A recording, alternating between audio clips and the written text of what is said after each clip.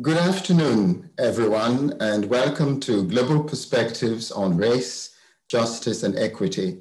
I'm Abi Williams, Director of the Institute for Global Leadership and Professor of the Practice of International Politics at the Fletcher School at Tufts University. I'm delighted to welcome our guest for this conversation, Professor Eddie S. Glaude Jr. He's the James S. McDonnell Distinguished University Professor and Chair of the Department of African American Studies at Princeton. He's the author of numerous acclaimed books, including Democracy in Black, How Race Still Enslaves the American Soul. His most recent book is Begin Again, James Baldwin's America and its urgent lessons for our own. Cornel West has written that this book is undoubtedly the best treatment we have of Baldwin's genius and relevance. And Jon Meacham calls it searing, provocative, and ultimately hopeful. Professor Glaude is also a columnist for Time Magazine and a frequent commentator on MSNBC and Meet the Press. Eddie, thank you very much for joining us this afternoon. It's my pleasure. Thank you for the invitation. I, of course, we'll discuss James Baldwin and your new book, but I want to start by asking you about the value gap. You've written powerfully about the, the value gap, this belief that in America, white lives have always mattered more than the lives of others, and that this belief has distorted the American character and American democracy. How is the white gap um, reflected in present day America? Well, I mean, we see it very clearly uh, with uh, the, dis- the disparate impact of COVID 19, right? Who's bearing the burden of, of uh, a healthcare system that reflected uh, in clear ways uh, what the value gap tries to single out, and that is the different valuation of human beings in the country, right? So the value gap uh, is this belief that white people matter more than others. And that belief then shapes our social, political, and economic arrangements. So, under present conditions, we see it not only in terms of COVID 19, who's Black and Brown poor are disproportionately dying from the virus, who's not getting access to the vaccine. We also see it in relation to, um, to policing in the country. Who can expect, you know, a safe and secure communities and who who who who who, who, who shouldn't. Just compare, for example, Brother Williams, um, the way in which even as the Capitol Police were being overrun, but just compare the response to uh, that particular mob and the response to peaceful protesters this past summer around Black Lives Matter. And you get a sense in a very concrete way of how that different valuation evidences itself in how communities are police. Some communities are not afraid of the police, and some communities have every reason to be skeptical of them, if that makes sense. Absolutely, yes. The, the disparate response to the Black Lives Matter protests and then the response to the armed rioters on, on Capitol Hill on the 6th of January was, stri- was quite striking. And you've talked about how this value gap is, is manifested in, in different ways. I'm wondering what your thought is about how um, the value gap is perpetuated in social networks because we know the social networks are very important you know our families our neighborhoods the schools we go to the universities we go to so how do social networks perpetuate this value gap oh absolutely and so one one of the reasons why I introduced the language, right? I was trying to find a different way to talk about white supremacy, right? To really think about it in terms of its its its practice. What does it what does it do? What is it what is the nature of its work? Um, and and another feature of my my my effort is was to kind of say, okay, it's easy to kind of think about uh, the value gap of white supremacy in relation to loud race people who are declaring very clearly that that they believe that, that white people are superior to others. But the value gap is something very different, right? It is a way in which the society is organized and, and the way we're habituated to live that valuation. So America is a hyper segregated society. Our social networks are, are, are reflect that segregation, right? I mean, um, I, I, tell when I'm talking around the country, uh, I usually say to folks, just think about the last wedding you went to, to get a sense about how diverse your networks are, right? You give you a very clear sense, right? If, if I think about the last wedding I went to, it was all black, maybe two white people, right? And so part of what we know is that our social networks are typically 70, 80% homogenous, right? And, and those networks differ in terms of uh, their robustness, their power. So my social networks may not be as robust and strong as my colleagues' social network, primarily because of differential, differential backgrounds, right? In interesting sorts of ways. And how opportunity passes along these robust networks in very different ways. Right? So it's not explicit racism that's doing the work. It's really how the value gap evidences itself in the way we live. And the way we live shapes who we interact with, right? Who are part of our intimate spaces. And then how opportunity gets passed along those networks, as it were. Mm-hmm. You said that America is a, still a very segregated society. It's reflected um, in our you know, social gatherings. And of course, it's also reflected um, in our institutions. Um, you, of course, are a professor. You've been a professor at Princeton for, for many years. You've taught at other institutions.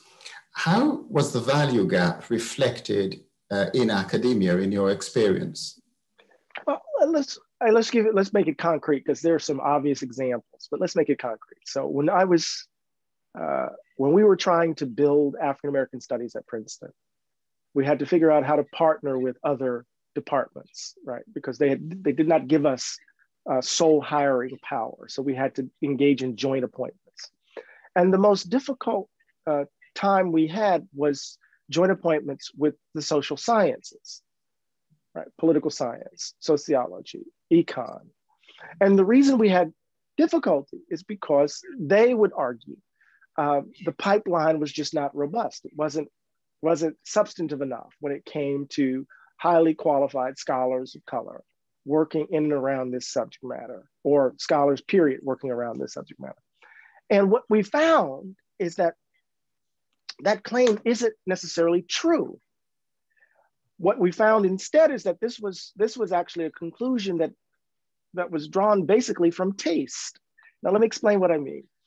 Most of the social science departments at Princeton, uh, political science, let's be very specific. The political science department at Princeton is very quantitatively oriented. It's numbers oriented.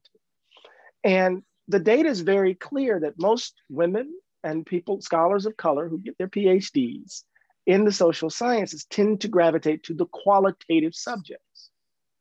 So it wasn't about there were, weren't talented PhDs in their field.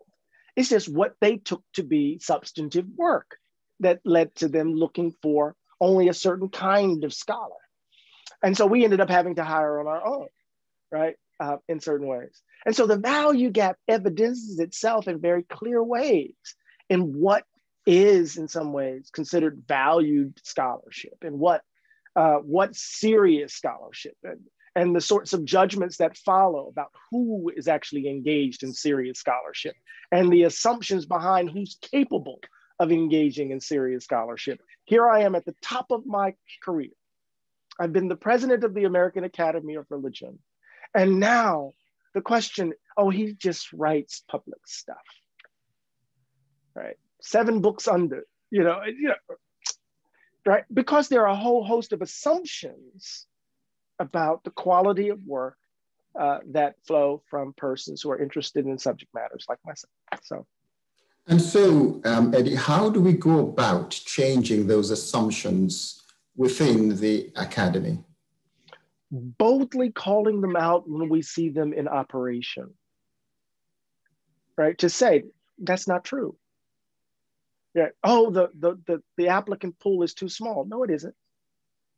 You're, what you're looking for is too narrow, might be the better way to approach this, right? And so I think it's important for us in these moments, uh, those of us who, who have some kind of standing in these institutions, right, to really say out loud what, what is operative in these moments. I keep saying to Princeton over and over again, right? Um, you know, if you're going to do this, be serious about it. If you're not, stop. Just be who you are. But if you're going to be serious about diversifying your faculty, then be serious about it. But don't waste my time or waste yours, right? When we know deep down, deep down in the way in which they're proceeding or the way in which the business is being imagined, that they're not committed to fundamentally tra- fundamental transformation. Um, and we can see this by just simply charting, uh, whether at Fletcher or where at Princeton, charting right who they've hired over the last two decades, and and charting their diversity numbers in relation to those those 20 years, um, and the and the data is very clear about who's serious and who's not. Yeah. That's sort of very interesting. The the you're a Morehouse on this theme. You're a Morehouse man, a proud Morehouse man. Um, you're a Princeton PhD, and as I said, you you're a Princeton professor. Mm-hmm. Are there lessons that institutions like Princeton and Tufts and Fletcher, which you mentioned, can learn from the experiences of colleges like Morehouse? You know, it's a basic insight create the conditions under which students and faculty can be their full selves. That's, that's the key. The beauty of my experience at Morehouse as a young man, I was 16 when I started, was that it gave me the space to imagine myself in the most expansive of terms. I never felt like an affirmative action baby at Morehouse. I didn't have to concern myself with the white gaze. I was engaged in the arduous work of self creation as every college student ought to be. Right. So, what does it mean to create an environment, right, where all of your members, all of your family can be the, their full selves? No, I don't have to wear the mask as a, as a faculty member. I'll give you a story really quickly. When Cornel West retired from Princeton, I wanted to figure out how could I celebrate this man who was so important in my own life as a graduate student and da da da. da. And so I said he loves music. Music is at the heart of his life, right? And so I said I'm going to throw a concert for Cornel. and we're going to put on this huge, huge concert. We're going to invite the community to come in, and we were in McCarter Theater, and it was just beautiful, right? And so we had we had you know jazz musicians, a famous jazz musician. We had uh, Lupe Fiasco. We had gospel music, we had classical music. It was just an amazing performance. And then we surprised Cornel at the end. You know, Terence Blanchard was, was the jazz musician, Bootsy Collins came, Harry Belafonte came. And at the end, it was George Clinton and the Funkadelic All Stars. And what was so beautiful about the moment is that we were unashamedly ourselves. Cornel jumps on stage and dances, sings the lyrics, uh, George Clinton says, Dr. West, we're going to turn Princeton out. Right. And it was so consistent with who he is that he could leave Princeton on his own terms. I use that as an example. It's an exaggerated example. But what would it mean for all of us to be able to be fully ourselves in the places that we work and inhabit? I want now to sort of turn our attention to, you know, outside um, uh, the academy and academia and to a moment in American history, 2008, when we witnessed the election of Barack Obama as the first African American president of the country. It was a, an historic event. And at that time, there was a lot of talk and a lot of hope for America, about America, that the the country perhaps was moving to a post-racial mm-hmm. um, period. And then we had 2016, and we saw the reassertion of the white gap. Mm. What happened? Well, um, almost in some ways, the, the demographic shifts in the country exploded over the eight years of Obama being in office. So there was a sense in which 2008 threw the country into a kind of panic. Right, Madison Avenue had already begun to, to pivot to this browning of America. We saw it in all sorts of advertisements. We were experiencing it in popular culture right? Racially ambiguous children on Cheerios commercials, same sex relationships, uh, selling furniture, uh, and the like. Um, and then a Black family in the White House, and folk in rural Indiana and, and Wyoming and North Dakota and, and, and, and the Black belt of, of the South in some way, they didn't know what the hell to do. And then over the course of the eight years of Obama being in office, those demographic shifts continue to evidence themselves across the body politic and across culture. So I think in, in some ways, you know, even with Bill Bennett saying no more excuses, you know, we've now put race behind us uh, in 2008, we saw almost immediately the response. And the immediate response, of course, was the gutting of the Voting Rights Act with the Shelby decision. Then we saw a spate of, of voter ID laws. What we're witnessing now, we saw then. So we saw voter ID laws in Texas and North Carolina and Wisconsin, and a variety of voter suppression uh, tactics, um, evident, you know, which showed up in, in, in the midterms, right? Um, um, and then um, we got the vitriol of the Tea Party, which people were saying was really about economic anxiety. But the data, my colleague Jonathan Seides and others, the data has shown um, that that economic anxiety was actually being driven by racial anxiety, right, in interesting sorts of ways. And so the Tea Party opens up the space for the kind of political articulation of, of white grievance in a different sort of way and in a different register. And we already see, we saw the effects. Boehner, Cantor loses, Boehner leaves as, as, as, um, as, as uh, Speaker of the House. Uh, we begin to see the election of, of Tea Party candidates. And that, in effect, it metastasizes and overwhelms the Republican Party. Uh, and, and then Donald Trump green screens it. He jumps in front of it, just as Barack Obama jumped in front of the anti-Iraq movement, the anti-war movement. Just as he grew, he that movement then green screened him and made him into right a kind of progressive savior. The Tea Party found theirs and they green screen. They didn't have to green screen uh, uh, Donald Trump. Donald Trump knew exactly what he was doing, and such so that by 2016, boom, it's a full blown uh, not backlash but betrayal. Yeah.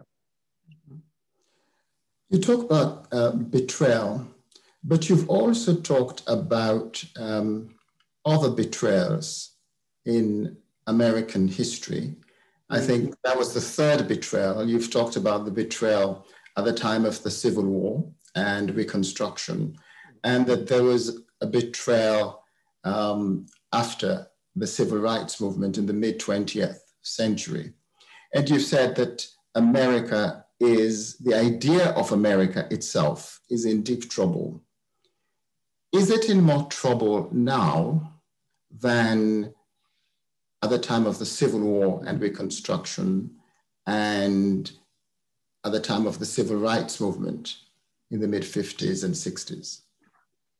Uh, Civil War is a different is a difficult question because the the the very republic was at stake.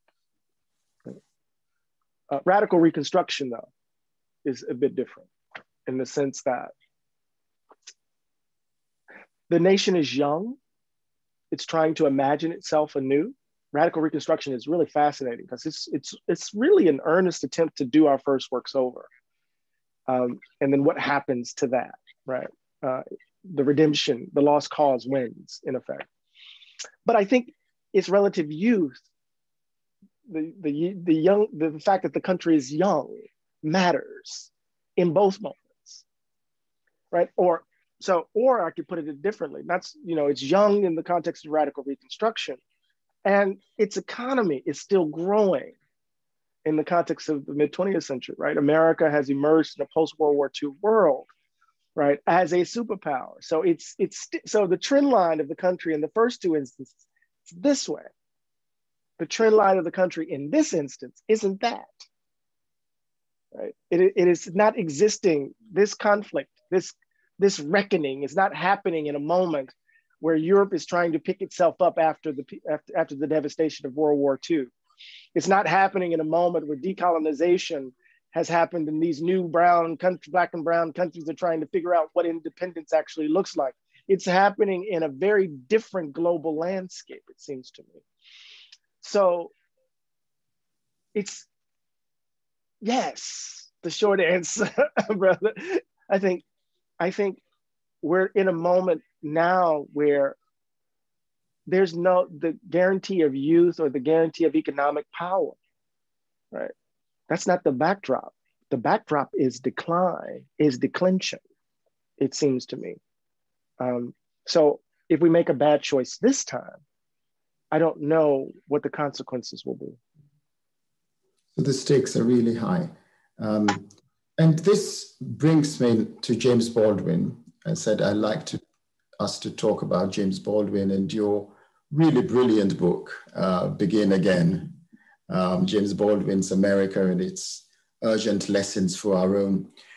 Could you explain to our virtual audience why you wanted to write about James Baldwin? Jimmy, um, I was in despair and disillusioned. I found myself saying, they've done it again. They've done it again.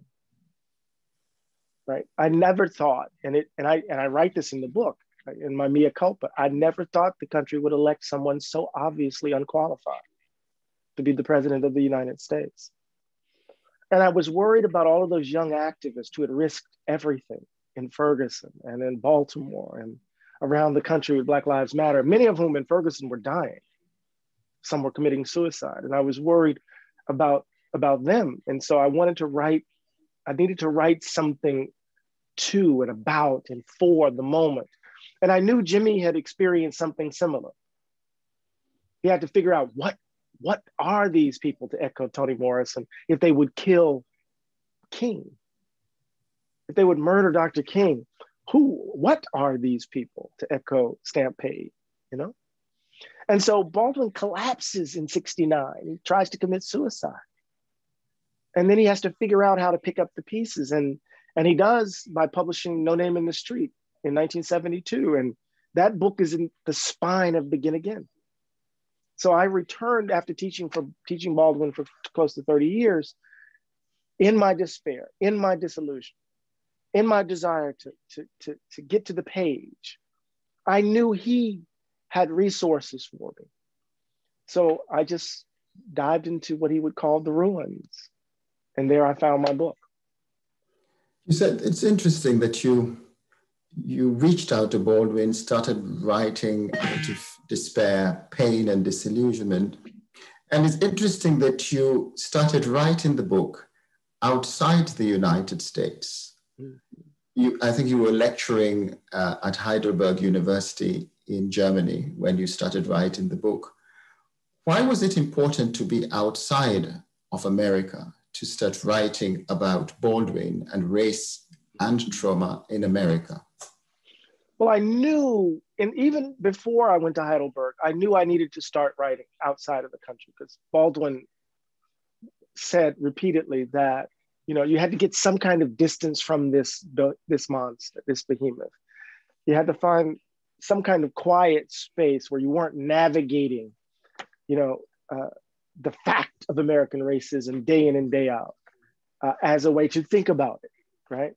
So I knew that. So initially, I was in St. Thomas. I'd rented a flat, uh, right, it, in St. Thomas, and I saw this. I had a beautiful view of the Caribbean Sea and then Hurricane Maria blew me back. I was too comfortable. Um, and so I found myself in Heidelberg. And what I knew was that unlike Baldwin, well, that's not true. I found myself having to comment on America every day as a pundit. Right? I was overwhelmed by the immediacy of having to talk about this place, right? Every second of the day. Um, think about it and then talk about it. And so the quiet of Heidelberg was absolutely perfect because, you know, my German is horrible. You know, I could read some of it on the page, but I couldn't, I couldn't speak it. So the, the fact that I didn't have the language when I was outside of the American Studies, you know, Center, um, meant that I was I, I was silent, but I had to pay attention to my thoughts and to the world around me. And so the quiet of not having to comment on America in real time gave me the space to actually think about the place. And so it was there that I conceived of the structure of the book. I knew I wanted to write about it, but I, you know, I hadn't put pen to page and I had signed this contract. And so here I am in Heidelberg and I have that experience I write about in the introduction. And I go right back to my apartment and I just start writing. And most of the introduction was written in that moment. A lot of it. As you say in the introduction, Eddie, um, you cross the Atlantic, you're in Heidelberg, and within a couple of hours on arrival, you see German police hitting a black man, hitting him to the pavement. How did that make you feel? And how did that square up with being away and not having to comment on uh, racial abuse by the police? I mean, it was this blood curdling scream. Like I'm going to the Altstadt, the old city, to get my train pass. And I hear this blood curdling cry. And then I follow the eyes, and I'm literally, I write this I follow the eyes of the people, and there's this black man, ass out, pants down to his ankles, I mean, his knees, um, begging for relief. And I just, you know, I just cursed, you know, just dropped an F bomb. Uh, and then the young graduate student who was with me, who was from America, just turned red face and felt the need to apologize. What is that? And, and, and I guess his apology beckoned from me a kind of forgiveness of him, of something. So I didn't respond, you know? Mm-hmm. Uh, but the one thing that I and I, it, I took a small pleasure in was that I didn't have to go on television and talk about it. I actually went home and thought about it, right? And tried to clarify it in my head. And, you know, this is something that we talked about briefly. The value gap is not America, it, it is America's original sin, but it's not our possession alone. It's actually an inheritance you know, in some ways. Absolutely, yes. And I think, and this was one of the reasons why, um, when we were thinking of starting this conversation series, we called it Global Perspectives on Race, Justice, and Equity, because racial discrimination, um, systemic racism, it's a global, it's a mm-hmm. global uh, problem. So that's interesting. I, I want to now talk about the lie because it's central to, to your book. And in Begin Again, you're right. Um, let me read it from, from the book. Uh, Baldwin's understanding of the American condition cohered around a set of practices that taken together constitute something I will refer to throughout this book as the lie. What is the lie and what is the purpose of the lie? So the lie is this um, this story or set of stories we tell ourselves about who we are, about who we imagine ourselves to be. Baldwin uses, I quote this, I think on page nine in the book, I quote this passage from an essay he wrote in 1964. entitled The White Problem. And Baldwin says, and I'm paraphrasing here, these Christians who decided to found this country, right, um, had a fatal flaw. They had these chattel in their lives that played this role in what they were trying to do in building this democracy. And they had to tell themselves that these people that were chattel, these men and women, were not human beings, because if they weren't human beings, then no crime would have been committed. And then here's Baldwin's line that lie is the basis of our present trouble. So the idea of, of whiteness that warrants a certain understanding of those who are not white, right? Of the way in which we think about Black folks' capacities, their talents, their role, their place. What's really, it, it all is really a reflection of who white folk take themselves to be in some ways, right?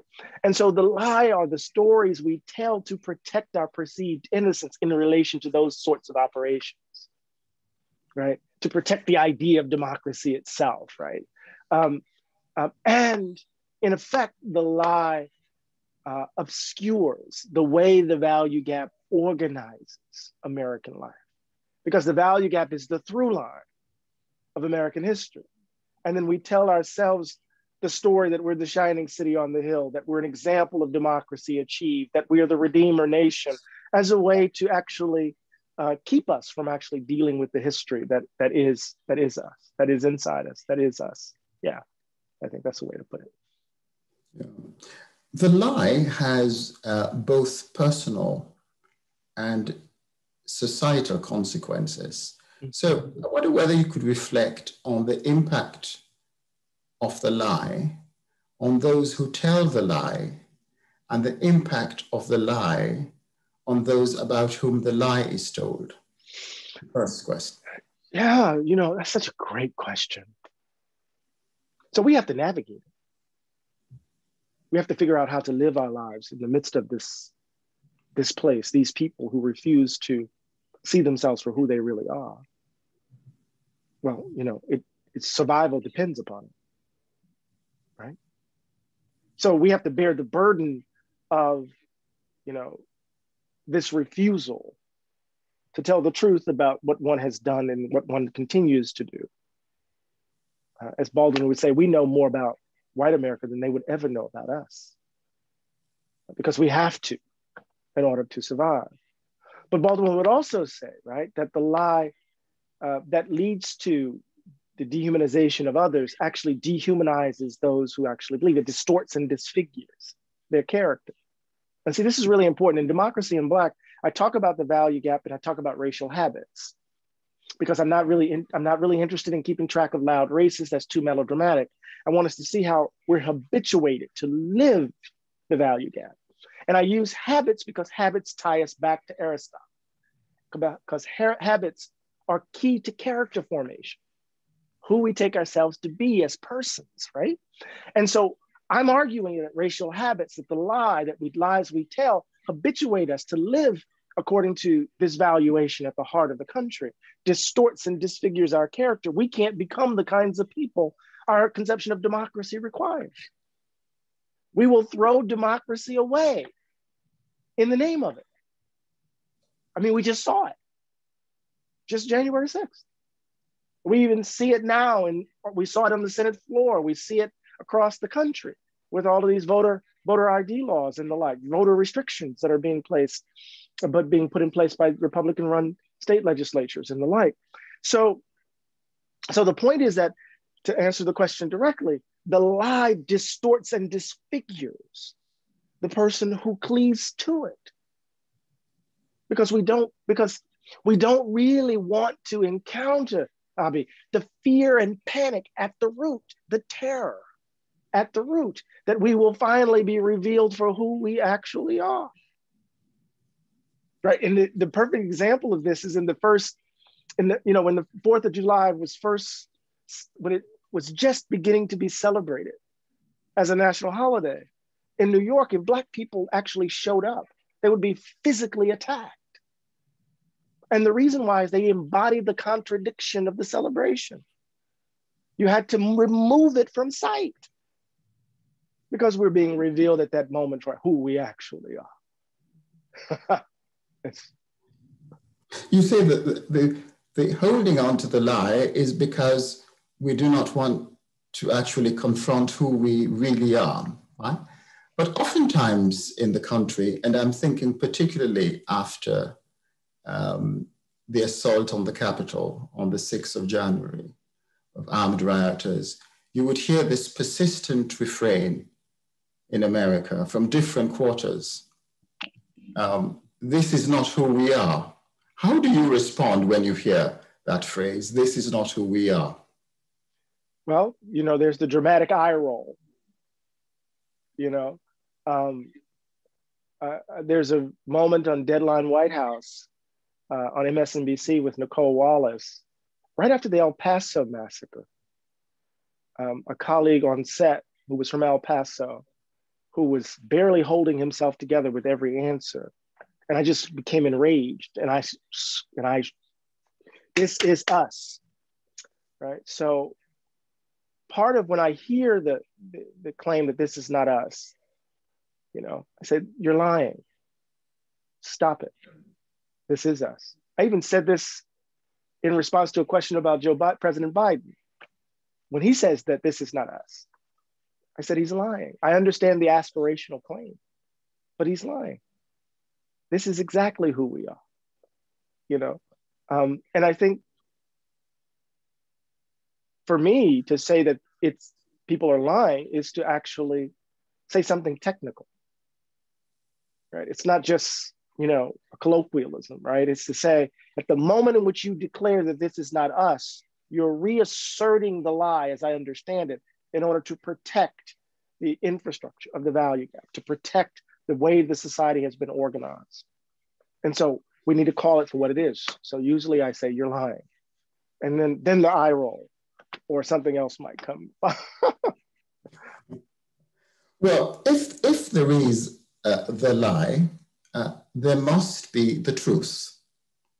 And like Baldwin, you write that we have to bear witness to it all and tell the story of how we got here. How did James Baldwin bear witness?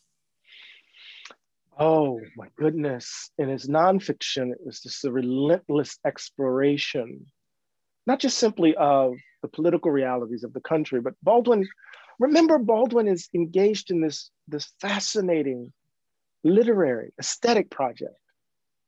So, in Notes of a Native Son, in Everybody Pro- Everybody's Protest novel and Many Thousands Gone, he engages Richard Wright's Native Son and Harriet Beecher Stowe's Uncle Tom's Cabin. And what he loathes is this kind of sentimental, sentimentalism around race you know, in some ways, Baldwin grabs Emerson by the cuff of the collar snatches him across the proverbial railroad tracks, right? So Emersonian themes are, are, are, are, are played in a, in a blues register in Baldwin's corpus.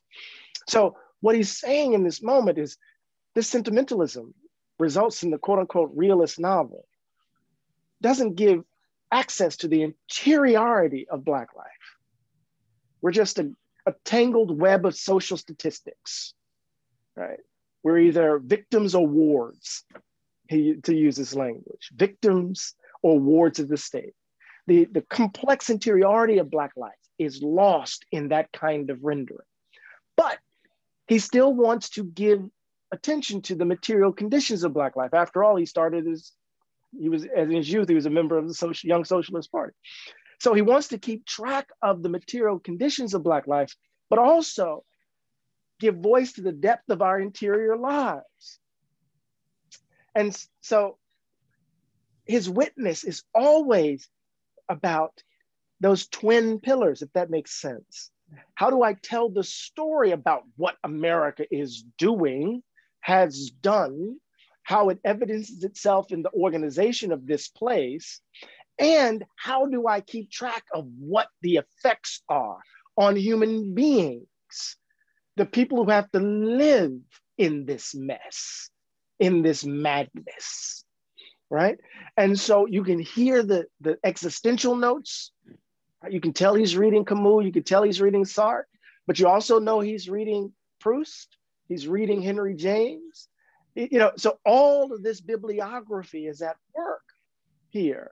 So what is he doing? He's telling the truth as he sees it and trying to give light as the artist to the complexity of human being who has to navigate and negotiate, right?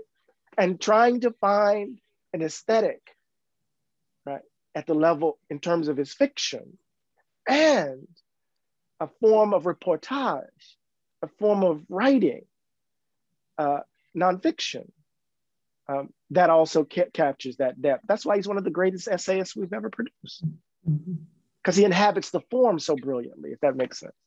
Yeah, like, absolutely. Like Baldwin, you say we have to tell a different story, right? We mm-hmm. have to tell the truth about who we are. And you say by an honest encounter with our past that challenges the repetition of myths and legends in the guise of nostalgia for simpler times. But facing the truth within ourselves is difficult. It's even harder to face the truth as a country.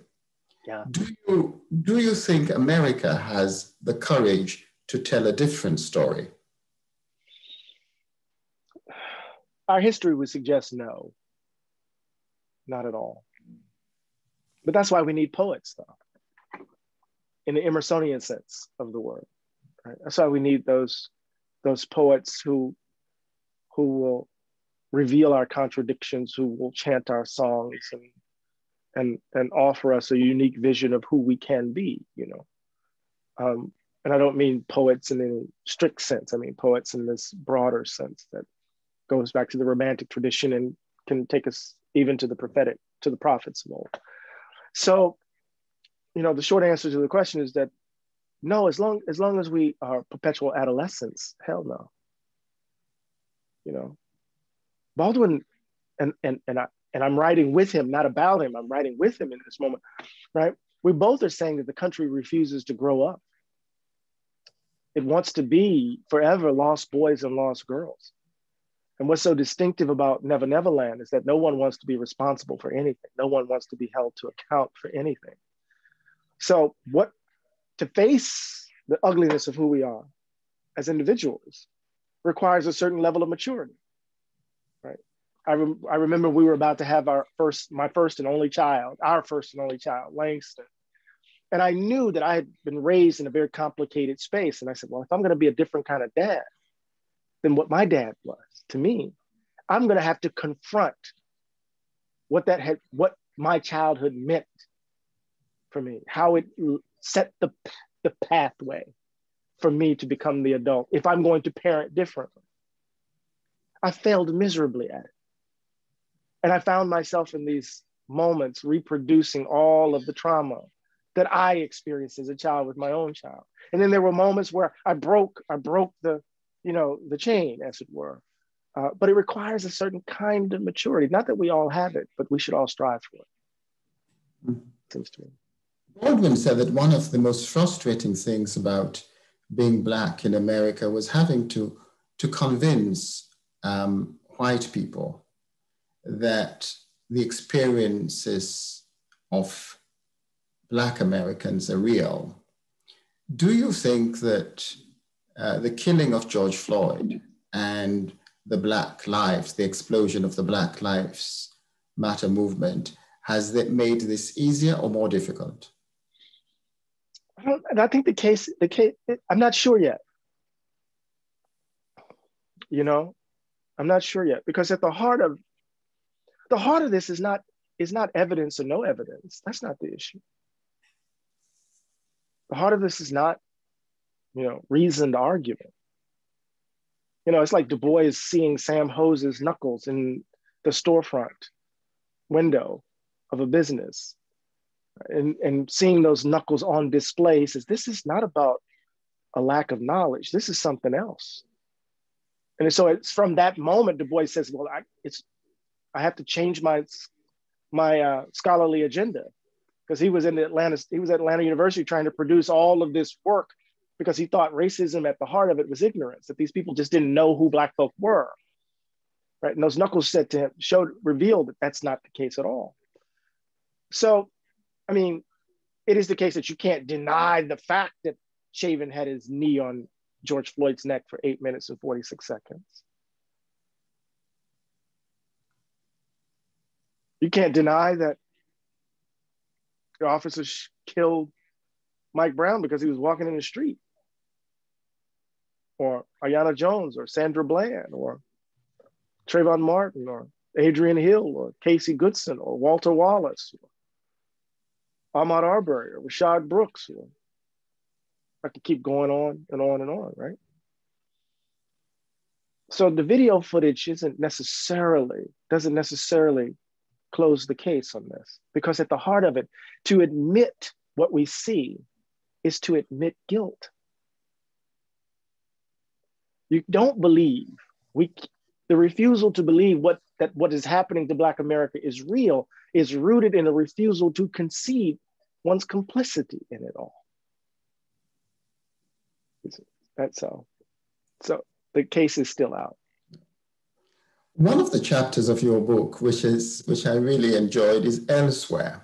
You yeah. cited it elsewhere, and you write um, it is that physical or metaphorical place that affords the space to breathe, to refuse adjustment and accommodation to the demands of society, and to live apart, if just for a time, from the deadly assumptions that threaten to smother.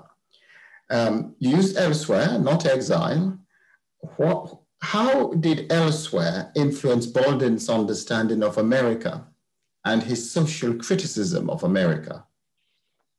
Mean, it's at the heart of it, you know? He was he called himself a transatlantic commuter. You know, he, he wasn't in exile because he was always thinking about this place.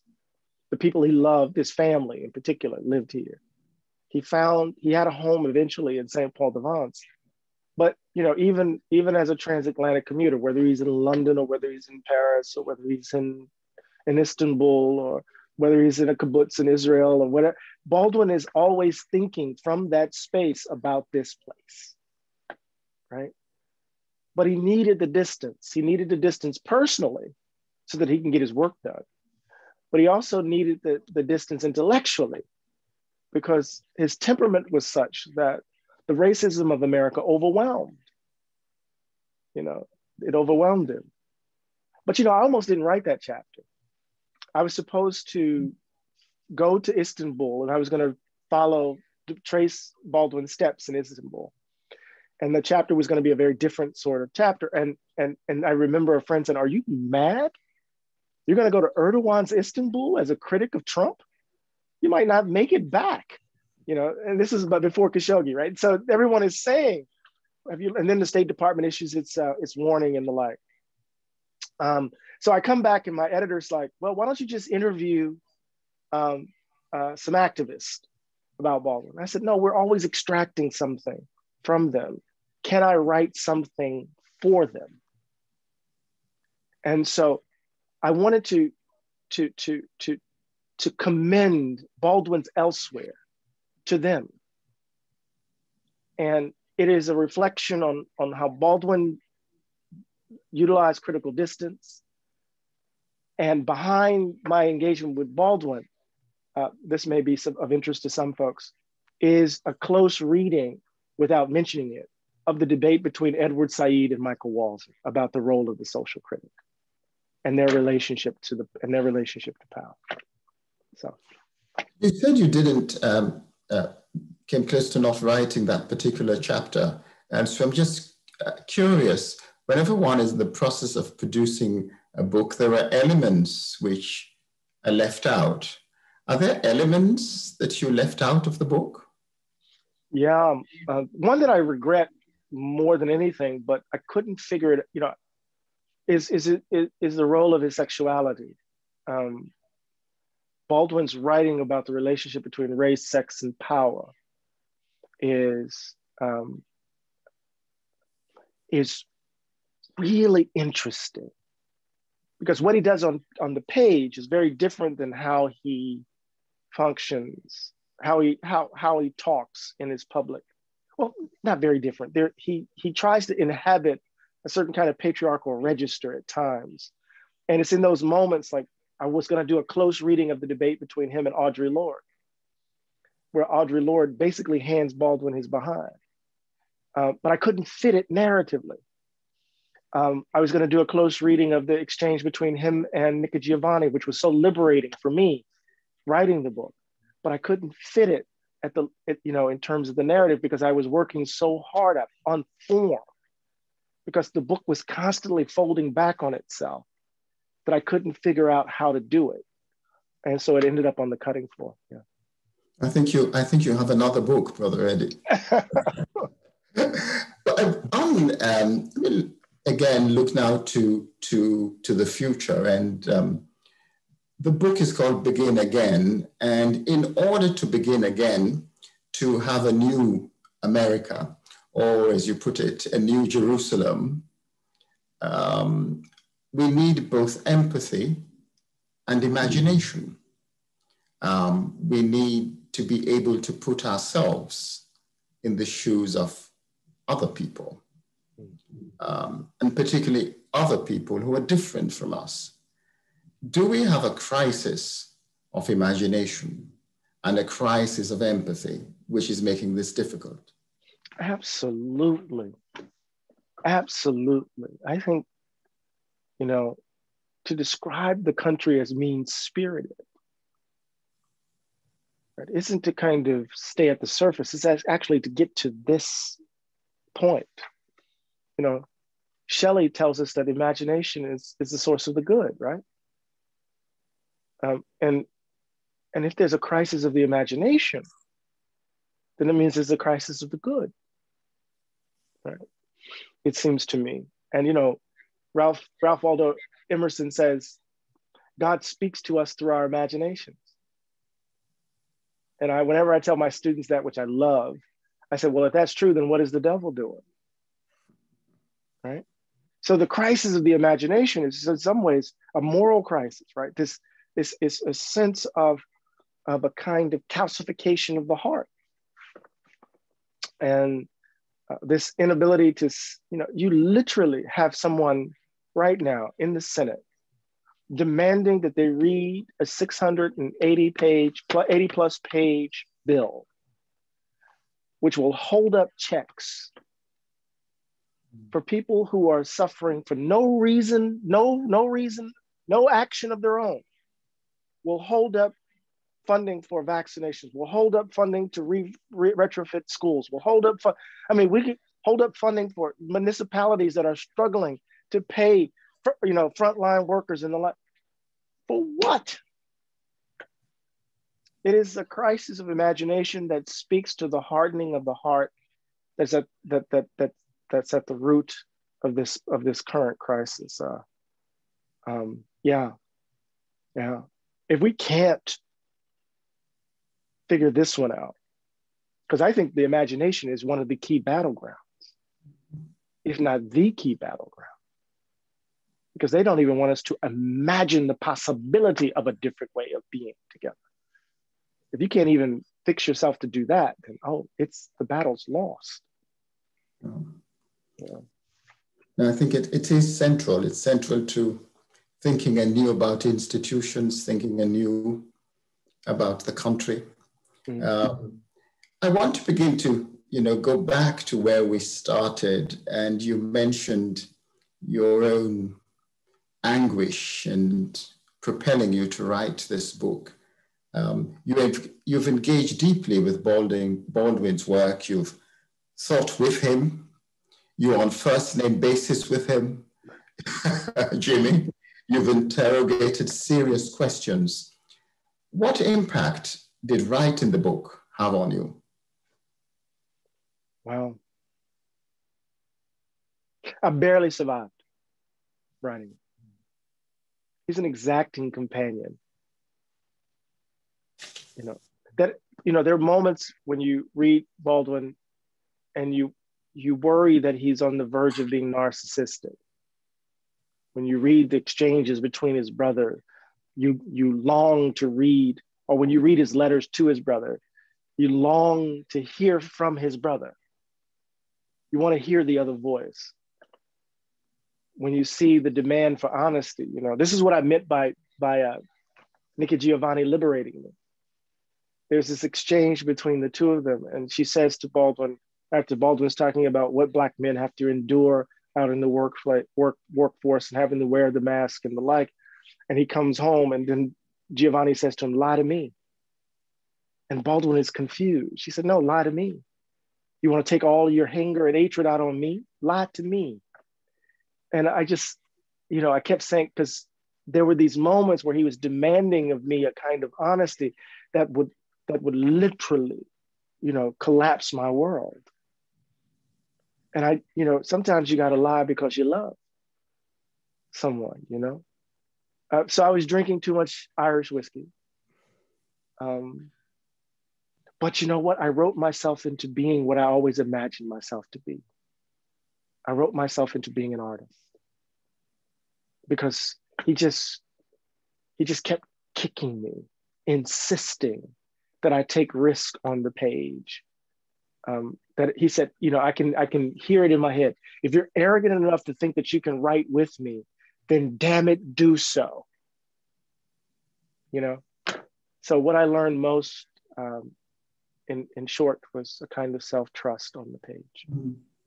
I'd like to ask you, a, you know, final question. Um, Baldwin said that hope is, is invented every day. And if you have to invent hope every day, in a certain sense, it means that you are struggling with despair every day. Um, what kind of hope did Baldwin have in mind, and how do we invent hope in the midst of pain and disillusionment? It's a blues soaked hope. It's a hope that understands that human beings are both miracles and disasters. It's a hope that that presumes that there's no guarantee that the outcome will be what we wish, but we have to take out we have to take that step anyway. Um, it's an insight into, into, into the human endeavor, right? that, as Toni Morrison said in her in her Nobel lecture, that at the end of the day, it's in our hands. And for Baldwin, the hope, and I'll say this really quickly, that hope is tied to that moment in the context of slavery, when there's nothing about the condition of the slave which would lead her to believe that her life could be otherwise. But then she hears the innocence of laughter, the innocent laughter of a child in the playground or she sees in the moment, in the eyes of someone right before her, genuine love. And that breaks open the opacity of one's condition. So, hope, right, is this, this extraordinary caring. You know, it's the it's it's rooted in love. It's the wheel in the middle of the wheel that allows us to swing our feet around and plant them on the floor and get up because we're going to get up and because we got children to take care of, we got babies to raise, we got folk to love, right? We got to figure that out. If that makes sense. It, it does, and it's a wonderful, hopeful uh, note to end. Eddie, it's been a real pleasure having you on Global Perspectives, and thank you for this really fascinating and illuminating conversation. Thank you for reading the book so closely and for being such a great conversation partner. I appreciate you. Thank you.